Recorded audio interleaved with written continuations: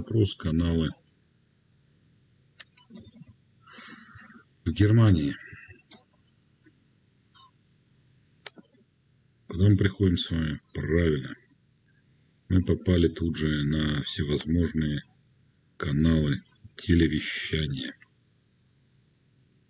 Я искал совсем другое. Я искал абсолютно совсем другое. А вот мы попали. Все-таки куда нам надо. Итак, перед вами список всех каналов, которые у нас расположены в Германии. Меня интересует вот этот, рядом с которым я живу, который соединяет ту реку, около которой я проживаю. И начинаем читать интересную историю данного проекта. Информация на русском языке, на немецком она особо не отличается, я уже проверял.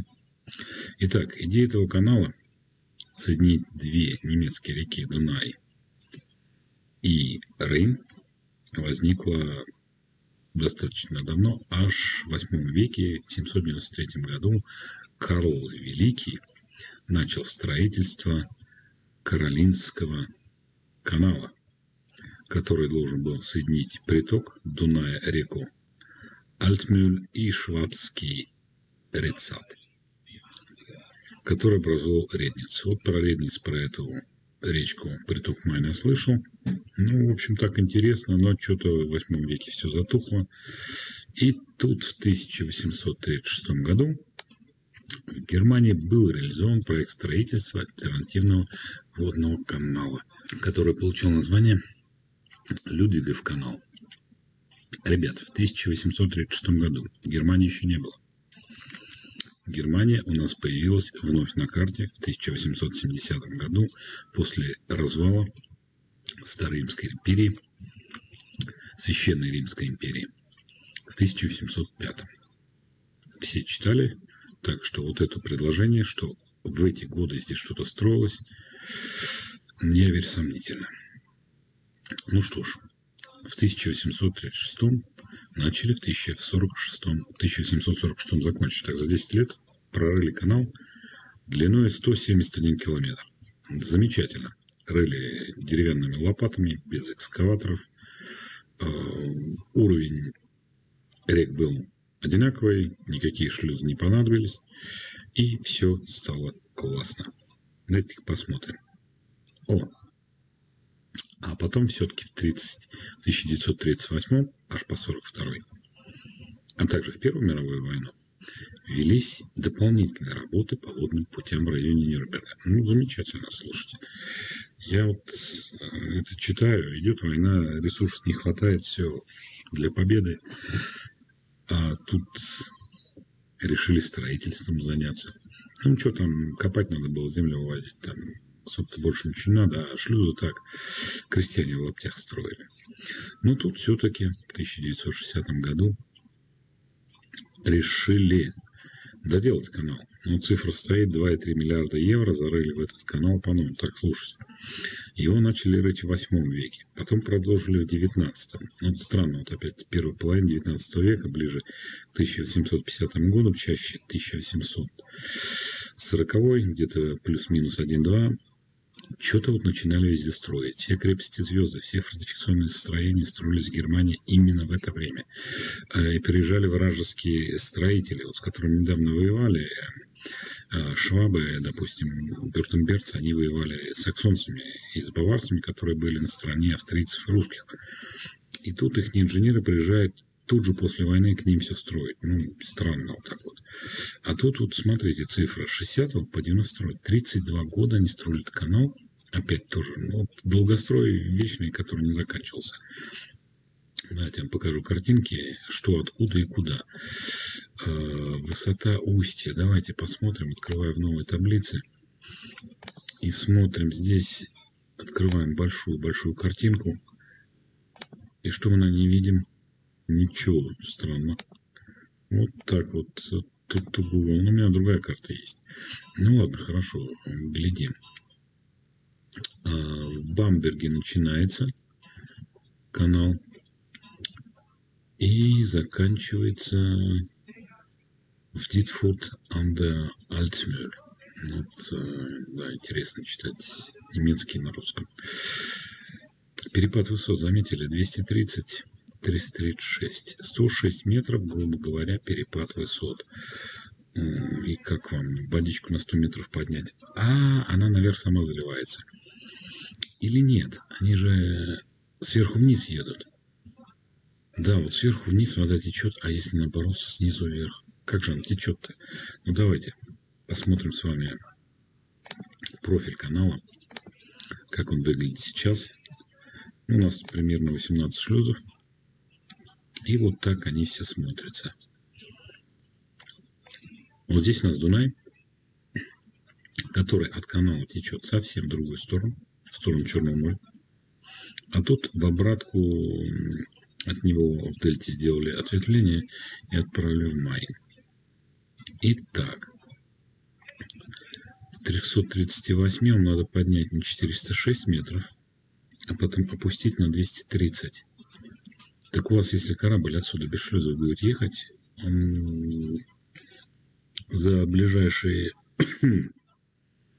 100 километров, грубо, 120, наберет неплохую скорость. Как на санках будете ехать. Ну, учитывая пороги и все остальное, на миль можно взлететь очень-очень быстро. Так, считаем шлюзики-то. 1, 2, 3, 4, 5, 6, 7, 8, 9, 10, 11, 12, 13, 14, 15, 16, 17. Вот террас. 18 шлюзов в итоге. Это чтобы вам пройти этот канал. А насколько же поднимает? Здесь у нас перепад 11 метров. Здесь у нас перепад всего лишь навсего 8 метров. Следующий 5. Опять 11. Здесь вообще на 22 метра поднимает. Прилично поднимите такую баржу на 22 метра высоту. Шлюз уже должен быть хорошо э, оформлен. Здесь у нас всего лишь 17 метров подъем. Тут опять небольшой 9. Тут мы скачем снова на 20 метров. 14 метров. Ну, тут мы уже побили рекорд 25 метров. И тут 25 метров. Вот представьте, это в восьмом веке вам надо было прокачать такой объем воды без насосов. Она сама текла, вот вода текет, вы ее поверните, она у вас потечет в любом направлении, без давления, сама по себе. Сильно сомневаюсь, но и вы, наверное, тоже. Итак, первый канал, который мы увидели, мы поняли, что тут с ним что-то не так строили очень много лет. По сегодняшним меркам с финансированием не сошлись в конце 20 века. И выявляем, что 2,3 миллиарда за такой канал отвалить. Ну, я другую цифру видел. Видел 800 э, миллионов дочь марок, еще немецких марок, когда марки были в 92 году. Этот канал продали ОНУ. То есть он сейчас владеет этим каналом, и это его инфраструктура. Ну что, давайте вернемся, посмотрим еще какой-нибудь канал, да? Что-то у меня тут рядом, допустим, есть, нету. Ну, давайте посмотрим. Рейнхерны. Уходим на Рейнхерны и смотрим, что у нас там и нахера. Шлюзы, история. Ну, особо-то много не написано, но опять мы идем сюда. Есть у меня соратник а, Виктор Ив, канал у него. Вот он тоже там говорит, ребят, ну не может быть определенных вещей без определенных деталей. А каких? А шлюзы без подшипника работать не могут, и подшипник нужен специальный. Чтобы шлюз открывался, закрывался, гидравлические насосы, водяные насосы. Ну, где они все взяли-то?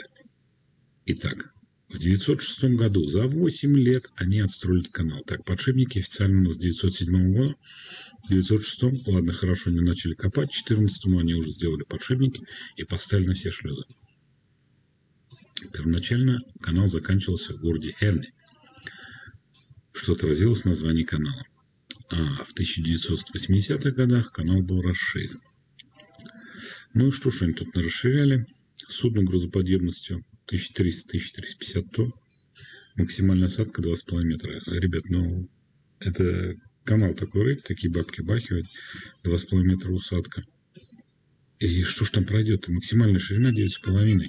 Вот тут-то опять не заладки-то. Карт тоже никаких нету. Ну, вот расположение канала здесь есть, но больше ничем помочь не могу. Уберхаузен. Тут этих Уберхаузенов в Германии как собак нерезанных. Э, шлюзы. Давайте посмотрим, сколько тут шлюзов-то. А тут про шлюзы и ничего не нашлюзано.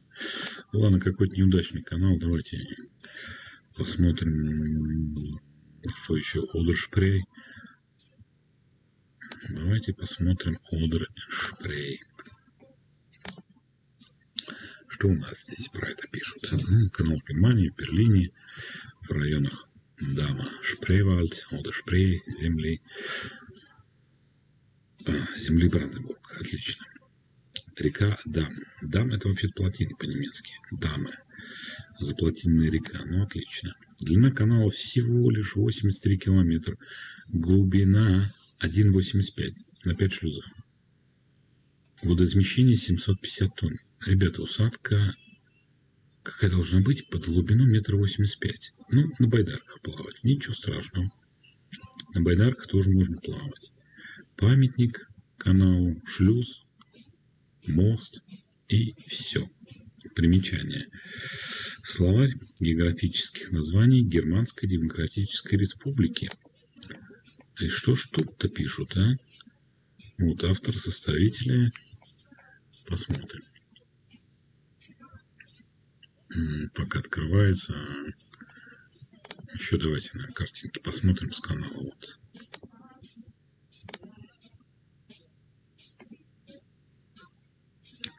Что ж мы тут-то видим? Это беру в сторону, чтобы не мешалось. Вот такая красота. Строил специально для рыбаков. Глубина метр восемьдесят пять. Это чтобы здесь сюда ходили. Большие какие-то ножи провозили. Да, собственно, тут много не провезешь. Как ни крути. Ну, на лодочке кататься, развлекаться и строить такое сооружение. Ну да, вон там какая-то баржа стоит. На усадка. Ну, такие вот ходить будут, но не больше. Итак, мы открыли словарь. Главного управления геодезии и картографии представитель министра СССР, словарь географических названий Германской Демократической Республики. И тут у нас написано много чего и всего остального. Но почему-то этот словарик только для ГДР. Лейпциг, Лейпциг. Почему Лейпциг называют по-русски? Это же Лейпциг. Эрфурт, Шверин, Гали, это Хали, Дрезден, это Дрезден, почему не Брезден какой-нибудь, ну вот, корявит язык, ну, ничего опять не нашли. Что ж тут за каналами-то? Давайте посмотрим среднегерманский канал. Среднегерманский канал. Откуда до куда? Длина канала всего лишь 325 километров и 700 метров. Замечательно. Перепад высот не дает. Габаритная глубина 3 метра. Ну, вот так вот. А идет отсюда аж до сюда. Ну, приличное, приличное, конечно. Расстояние. Это СГДР, там контрабандисты продукцию СССР завозили в ФРГ нелегально. Ну, после санкций, как обычно. Здесь карта канала можно посмотреть. Вот так канал выглядит. А это мост через него. Покрупнее. Канал идет, грубо говоря, из Бранденбурга через Вольсбург. Дальше ответвление на Эльбе. На Эльбе уходит. Потом он идет аж на Ханновер. Как удобно. Минден, Оснабрюк, Дортмунд. Замечательно. Это можно грузу возить с Магдебурга э, сразу на Дортмунд. И все, и транспорт вам другой не нужен. Не шаг как далеко ж не уедешь. А вот сам мост. Я что-то не понял, что это за мост. Надо, наверное, прибавить. Очень странная фотография. Тут были кирпичи красные, тут их замазали краской такой половой. Башни странные, выносы, вот, вот эти вот закругления для чего-то. Мост, ну, конечно, мост. Это для нас сейчас мост. Но раньше я мостом не был. А воды-то я тут что-то не вижу. А зачем тогда мост, есть тут сухо и поле? Опять что-то не то придумали. Ну, в общем, в таком стиле можно разобрать все каналы. Так что вот это вот видео заливаю на YouTube. Смотрите, размышляйте. В России тоже полно каналов. Э, сам видел в Питере, около Питера. Так что, если у кого есть желание, можете поисследовать и посмотреть. А, это вот, это канал проходит над полем. Я-то думал, в чем тут дело? Что за мост? Что за хрень? А это канал проходит над полем. Нет, а тут тоже речка какая-то. Вот странно. Канал нет, чтобы не через речку, они пустили над речкой. Это вот, э, слушайте, надо почитать, когда его строили-то. Э, открыт был в 1938 году. Э, в 1973-м хороший грузооборот на нем был. А кто строил, как строил? Стоп, подождите. В 1938-м открыли. А по этой фотографии какая-то допотопная конструкция стоит. Ну, это обычное фортификационное сооружение. Вот эта башня, тут окошки даже приделали. Странно. Там, наверное, станция насосная внутри стоят, чтобы сюда водичка такая заходила, чтобы кораблики шли.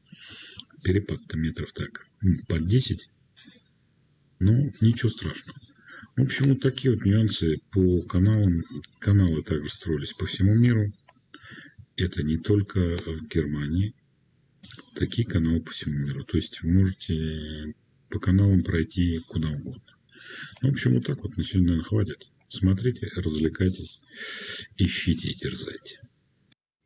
Я тут набросал свой небольшой планчик расположения каналов э, в Европе.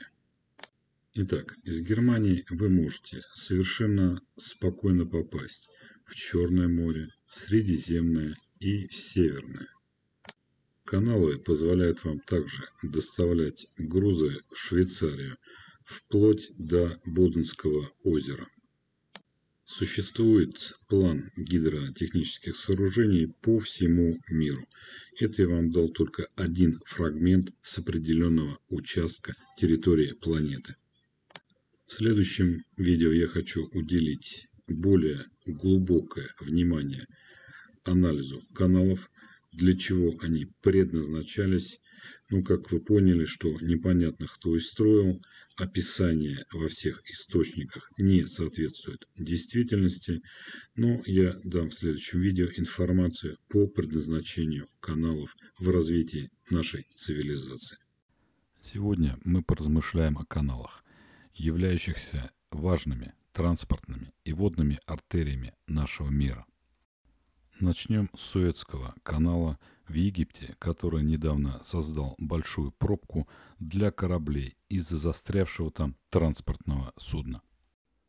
Гигантские корабли и танкеры, неспешно идущие по безжизненной пустыне, зрелище завораживающее.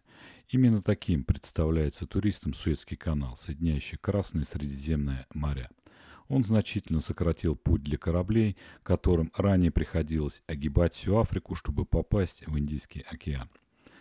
И это только географический аспект. На самом же деле Суэцкий канал связывает целые части света, Европу и Азию. Посмотреть на великий рукотворный водный объект стремятся тысячи туристов, отдыхающих на Средиземном и Красном морях. Суэцкий канал связал не только Красное и Средиземное моря, но и целые части света. Он уникален еще и потому, что на нем нет шлюзов. Длина Суэцкого канала 163 километра. Ширина не одинакова на разных участках от 120 до 318 метров.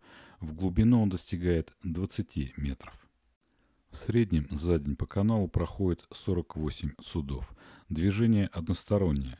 Суэцкий канал обслуживает около 15% от общего объема мировых торговых перевозок и примерно 20% всех перевозок нефти. Пошлины за транспортировку грузов по каналу приносит Египту огромный доход – более 5 миллиардов долларов в год. В 1859 году началось строительство канала. Технические трудности, стоявшие перед строителем канала, были громадны. Приходилось работать под палящим солнцем в песчаной пустыне, совершенно лишенной пресной воды – Земляные работы проводились с использованием принудительного труда обильных слоев населения Египта и заняли 11 лет. Общая длина канала составила около 173 километров. В этом числе длина канала через Суэцкий перешеек 161 километр, морского канала по дну Средиземного моря 9,2 километра и Суэцкого залива около 3 километров. Ширина канала по зеркалу воды 120-150 метров, по дну 45-60 метров. Глубина по фарватеру первоначально составляла 12-13 метров, затем увеличена до 20 метров. Канал официально открылся для судоходства 17 ноября 1869 года. Это была официальная ересь. Теперь прибегнем к математическим расчетам, используем количественные методы в исторических исследованиях постройки каналов. Мы берем минимальные значения. Необходимо прорыть канал по сечению в виде трапеции с основаниями А 120 метров по зеркалу воды, Б 45 метров по дну и высоту Х 12 метров. Площадь сечения равна 1 вторая умножить на в скобках а плюс b и умножить на х высоту. 1 вторая умножить на 120 плюс 45 в скобках умножить на 12. Получаем 990 квадратных метров площадь сечения. 1 кубический метр земляной породы весит 1800 килограммов или 1,8 тонны. Я не беру точную плотность песка или скалистой породы, а считаю по минимуму, взяв за основу земляную породу. 1 метр канала весит 990 умножить на 1,8 равно 1782 тонны. А рыть-то надо было аж 161 тысячу метров. И тут цифра необходимого объема земляных работ становится запредельной и достигает 286 миллионов 902 тысяч тонн породы или 150 миллионов 390 тысяч кубометров грунта. Это необходимо извлечь и оттранспортировать в сторону – Четырехосные самосвалы, которые в основном используются на земляных работах по всему миру, способны перевести, как правило, объем 20 кубических метров. Ровно столько составляет их объем самосвального кузова. Грузоподъемность четырехосного самосвала достигает 25,5 тонн. Для расчетов мы принимаем 25 тонн. 286 миллионов 902 тысячи тонн породы поделим на грузоподъемность одного четырехосного самосвала 25 тонн и получим 11 миллионов 476 тысяч 80 ходок, которые необходимо совершить, чтобы транспортировать извлеченную из канала породу. Даже если вы задействуете 200 четырехосных самосвалов а породу они будут увозить на расстояние 300 метров, чтобы она опять не сыпалась из горки в канал, то вам понадобится 57 380 ходок для каждого грузовика. Учитывайте время погрузки, транспортировки и выгрузки. Пофантазируем, что египетские землекопы за полчаса засыпят самосвал и общее время рейса составит час – Каждый самосвал будет кататься в две смены по 8 часов, совершая 16 рейсов в день и никогда не будет ломаться. На трудовое законодательство нам просто наплевать. Рабы должны работать. Arbeit macht frei, das ist fantastisch. А климатические условия в пустыне просто идеальные, как в раю. На весь объем работ будет затрачено 3000 586 трудодней. Канал открыли через 10 лет или 3650 дней. Спишем это на погрешность и коэффициенты в данном расчете. Даже в настоящее время с использованием современной техники построить такое техническое сооружение станет очень сложной и дорогостоящей затеей, проследив это лишь на анализе необходимых земляных работ. Я не брал в расчет другие логистические потребности, проживание рабочих, обеспечение их всем необходимым, проведение других необходимых работ, начиная с разметки стройплощадки и заканчивая проектной документацией для проведения строительных работ такого сооружения. После этого появился памятник египетской силе местного пролетариата с лопатой. Теперь мы отправимся на другую часть света и рассмотрим Панамский канал, пролегающий между Северной и Южной Америкой. Панамский канал – это судоходный канал, соединяющий Панамский залив Тихого океана с Карибским морем и Атлантическим океаном. Расположен на Панамском перешейке на территории государства Панама. Общая длина канала составляет 81,6 км, в том числе 65,2 км пересечения суши и 16,4 км по морскому каналу с углублением дна по Панамской и Лимонской бухтам для прохода судов в глубокой воде. Общая ширина 150 метров, ширина исторических шлюзовых камер 33 метра, глубина 12 метров. Официально открыт 12 июня 1920 года. Строительство Панамского канала стало одним из крупнейших и сложнейших строительных проектов, осуществленных человечеством. Панамский канал оказал неоценимое влияние на развитие судоходства и экономики в целом в западном полушарии и во всем мире, что обусловило его чрезвычайно высокое геополитическое значение. Благодаря Панамскому каналу больше не нужно огибать Южную Америку. И морской путь из Нью-Йорка в Сан-Франциско сократился с 22,5 тысяч километров до 9,5 тысяч километров. Первая попытка строительства судоходного пути на Панамском перешейке датируется лишь 1879 годом. К 1888 году на строительство канала было истрачено 300 миллионов долларов, почти в два раза больше, чем предполагалось, а выполнена была только треть работ. Причиной стал и неправильный проект «Канал на уровне моря», и низкое качество руководства организации работ. Недооценка его стоимости, а также невозможность справиться с болезнями малярией и желтой лихорадкой, косившими работников. В 1889 году компанию решено было распустить, а вокруг ее деятельности возник знаменитый скандал во Франции в 1892 по 1893 годы.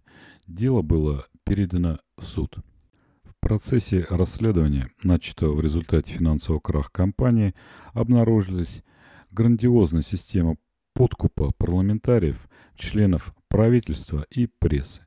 В 1901 году Соединенные Штаты Америки заключили с Великобританией договор ХИЭ Паунсфота, согласно которому Штаты получили исключительное право на сооружение данного канала без участия Великобритании. К строительству канала военное министерство США приступило в 1904 году. На строительство потребовалось 10 лет, 400 миллионов долларов и 70 тысяч рабочих, из которых, по американским данным, около 5600 человек погибло на стройке. Утром 13 октября 1913 года президент США Томас Вудро Уильсон в присутствии многочисленных высокопоставленных гостей, собравшихся в Белом доме, направился к специальному столику и величественным жестом нажал на золоченую кнопку. В это же мгновение мощный взрыв сотряс влажный тропический воздух в 4000 километрах от Вашингтона на Панамском перешейке. 20 тысяч килограммов динамита разрушили у города Гамбоа последнюю преграду, разделявшую воды Атлантического и Тихого океанов. Кабель длиной 4000 километров, соединявший динамит в глубине перемычки у Гамбоа с Белым домом, послушно выполнил волю президента. Представьте себе Сталина, сидящего в московском Кремле и пускающего поезда немецко-фашистских захватчиков под откос в Беларуси. Эта фотография строительства, которая уже перед вами в течение минуты, вела меня просто в ступор. Перед вами какой-то паровоз, застрявший в тупике. Позади него лежат лишь шпалы. Одного рельса нет, а второй завис в воздухе. Работяги в белых рубахах на стройке, в грязи по колено, что-то откапывают и расчищают. Как паровоз смог сюда проехать, или это колумбийские партизаны на оккупированных территориях пускали поезда амера-фашистских захватчиков под откос? Вот так американцы строили в марионетческом сепаратистском государстве Панама на бывшей территории Колумбии грандиозное техническое сооружение. Это карта Панамского канала в 1940 году. Настырные японцы планировали разбомбить канал в августе 1945 года, но американская военщина опередила их и разнесла ядерными бомбами два крупных города на японских островах. Больше никому в голову не приходила идея устроить теракт на подконтрольной территории США. Рассказанные мной факты в первом фильме о каналах и этом указывают на транспортное предназначение каналов. Но строительством канала пытаются не только улучшить условия доставки логистическим компаниям. По каналам подается пресная вода. Как всегда, все каналы строятся в XIX веке. Их идейными вдохновителями становятся французы, которые не были профессиональными строителями. Описание стройки просто пестрит небылицами и сказками, а фотографии строительства отсутствуют или за них выдаются те, которые вызывают сомнения в их подлинности. Везде за господство над этими водными артериями мирового судоходства начинаются войны за передел этих территорий. Это мы рассмотрели два известных канала, которые используются флотами всех стран мира. В продолжении, в третьем фильме о каналах, мы рассмотрим один забытый канал внутреннего предназначения, который до сих пор не стали восстанавливать. Территория нахождения этого канала спорная, и восстановление этого технического сооружения не может принести значительных барышей мировым элитам. Во второй части расследования о каналах мы рассмотрели два самых известных канала – Панамский и Суэцкий. Теперь мы рассмотрим один забытый канал внутреннего предназначения, который до сих пор не стали восстанавливать. Территория нахождения этого канала спорная, и восстановление этого технического сооружения не может принести значительных барышей мировым элитам. Мы отправляемся на территорию Советского Союза, а точнее на полуостров Крым. Вы наверняка слышали о Перекопской операции во время гражданской войны. Красные начали операцию по захвату Крыма уже 3 ноября 1920 года с очередной безуспешной лобовой атаки перекопских укреплений. 2 ноября 1920 года силы РККА овладели юшунскими позициями. Белые войска начали отступление. Фронт задал своим войскам дневку – привести свои части в порядок и предложил Врангелю капитулировать – Однако ответа получено не было. Белые войска спешно отступали к портам и в Патории, Севастополю, Ялте, Феодосии и Керчи, где грузились на корабли для дальнейшей эвакуации. Вот так примерно кавалерия красноармейцев преодолевала Перекоп. Это видно из фантазий художника, который писал картину на заказ. Картина, согласно описанию Википедии, является кадром из кино, а художник долгое время оставался анонимным автором этого холста. А вот так выглядит реальная картина на местности, что явно отличается от фантазии художника. Заодно это что-то явно напоминает не яму овражную, а четко просматривающийся канал для малотоннажных судов. Остатки коммуникаций технического гидросооружения тут же окрестили Перекопским валом, лишь забыв добавить тульские засеки для обороны от нашествия крымских татар. Конница у красноармейцев была просто особенная. Лошади были с крыльями и были способны перелететь через это препятствие. Крымские татары во время осады Тулы 22 июня 1552 года подарили русским крылатых лошадей. Спустя несколько веков они им пригодились, так как могли летать через Перекоп и знали путь в Крым. Рассмотрим сооружение сверху с высоты птичьего полета. Длина канала Перекопа составляет лишь 9 километров 200 метров. Канал расположен на Черном море, что гарантирует отсутствие перепадов высот. В связи с этим нет необходимости в постройке шлюзов, что могло бы увеличить стоимость объекта. Пожалуй, надо обратиться к французам, чтобы именно они разработали проект нового канала в Крыму. Крымский канал имеет региональное назначение, но при определенном подходе мог бы получить международный статус.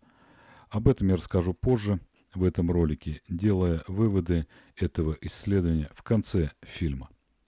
Мы снова отправимся в Северную Америку, в страну Соединенные Штаты Америки. Здесь мы осмотрим канал Эри, благодаря которому деревня Нью-Йорк стала мировой метрополией, а не осталась на острове Манхэттен, где спаивали индейцев огненной водой. Эри это канал в штате Нью-Йорк, США, связывающий систему Великих озер с Атлантическим океаном через реку Гудзон. Разберем детально данное сооружение. Длина канала от города Буфало на озере Эри до города Кохос у впадения, включенной в канал реки Мохок в реку Гудзон, составляет свыше 540 километров, ширина около 50 метров. Канал Эри был построен для создания судоходного водного пути от Нью-Йорка и Атлантического океана до Великих озер. Канал был построен в 1817-1825 годах, после неоднократно реконструировался.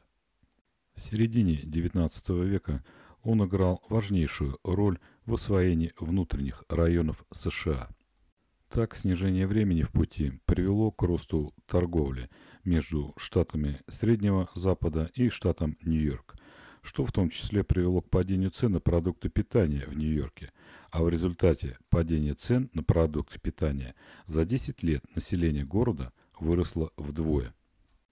Тут-то я и обнаружил причину демографических проблем во всем мире.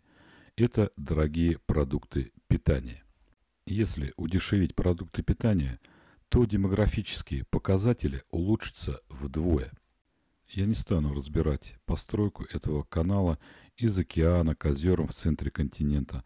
Там будут те же сценарии, что я рассмотрел на примере Суэцкого и Панамского каналов. 19 век, французы, война, несоответствие проведенных работ техническим возможностям того времени. А теперь немного пофантазируем и построим сами новый канал на карте мира. Где, конечно же, спросите вы? Да там, где он нужен или скоро точно понадобится. Россия настойчиво продвигает идею Северного морского пути. Последствия ядерной зимы в виде полного оледенения ряда территорий, ставшими абсолютно непригодными для жизни, начали постепенно отступать а климатические условия улучшаться.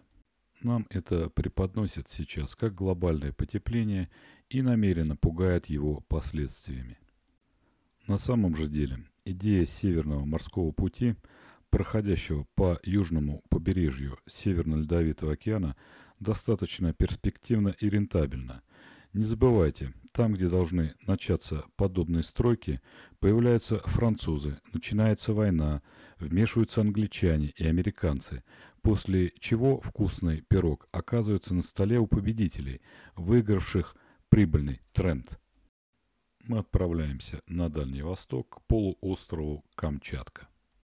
Именно там должен пройти межконтинентальный путь, способный соединить континенты и увеличить объемы мировой торговли.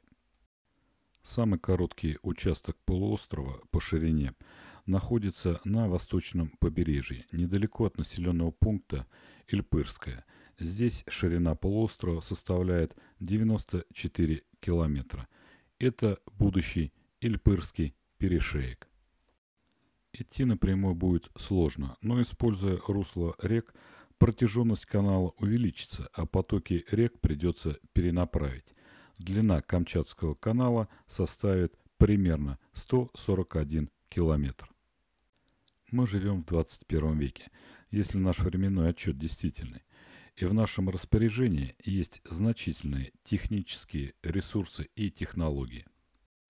При использовании землесосных снарядов с рыхлителями возможно ежедневно извлекать огромные объемы грунта.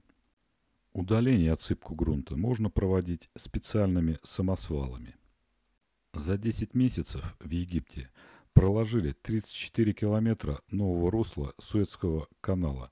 Было извлечено 194 миллиона кубометров грунта.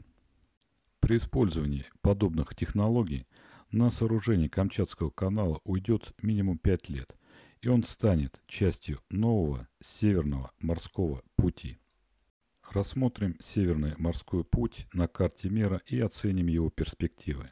Длина морского пути из Шанхая в Гамбург сократится на 5000 километров. Снижение времени в пути приводит к росту торговли между регионами. В том случае, если каждое государство перейдет на самообеспечение и прекратит торговлю излишками на внешних рынках, что может произойти лишь в случае глобальных климатических потрясений, снабжение по морским путям прекратится. Точно так же, как оно уже однажды прекратилось, а необходимые для этого пути пришлось устанавливать на отдельных участках каналах.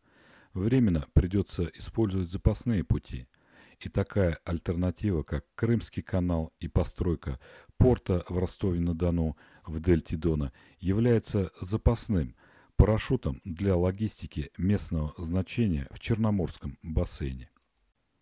Расчистка русел рек и углубление фарватеров сможет создать дополнительную резервную логистическую артерию из Черного моря в Балтийское на случай прекращения поставок по Северному морскому пути. Россия укрепляет свои форпосты на протяжении всего Северного морского пути. Военные посты и объекты инфраструктуры появляются на всем его протяжении у границ Норвегии, на Курильских островах, Сахалине и Чукотке. Задачу обеспечения безопасности для бесперебойного прохода транспортных судов через Северный морской путь может осуществить лишь хорошо подготовленный военный флот. Недавняя посадка на мель транспортного судна в Суэцком канале показала, насколько уязвимы узкие проходы торговых путей.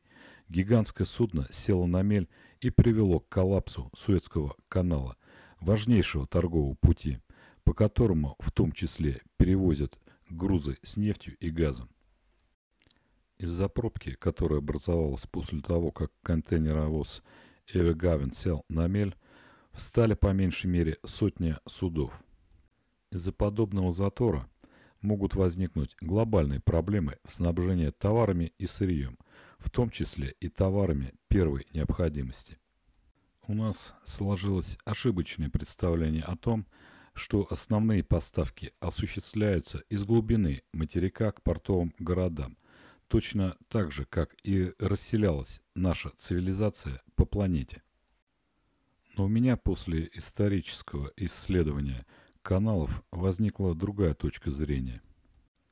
Я считаю, что цивилизация расселялась вглубь материков, по морским путям, поднимаясь по течению рек, впадающих в океан, и основывая там новые поселения. То, что испанцы в конце 15 века начали колонизацию американских континентов, не соответствует действительности. Так же, как и сказки о малочисленных португальских завоевателях, конкистадорах, последовавших за ними в поисках легкой наживы. Все выглядит иначе. Испаноговорящие захватили часть территории в Европе, а за ними последовали сегодняшние португальцы. А после этого нам придумали историю о том, что Колумб Америку открыл, великий был моряк, а Испания и Португалия были великими морскими державами, которые даже сейчас не в состоянии обеспечить себя необходимым торговым флотом. У многих вызвали сомнения описания постройки в сталинские времена двух известных всем каналов – Волга-Донского и Беломор-канала. Один из соратников в комментариях написал, что существует также сеть каналов Сибири, по которым можно попасть на Балтийское побережье. Это лишь еще раз подтверждает версию о всемирной глобальной системе водоканалов. Вполне реально нарисовать эту систему на карте мира и оценить масштаб общих проведенных работ и затрат для того, чтобы в очередной раз убедиться в том, что нам нагло врут. Тот, кто владеет контролем на морских и речных просторах, владеет торговыми потоками, которые движутся по артериям сети мировой логистики, а также значительными ресурсами пресной воды. Поделитесь этим видео с близким человеком. На этом все. Жми колокольчик, чтобы не пропустить новые видео. Пишите комментарии и читайте комментарии. Там иногда умные люди пишут умные вещи. Всем добра.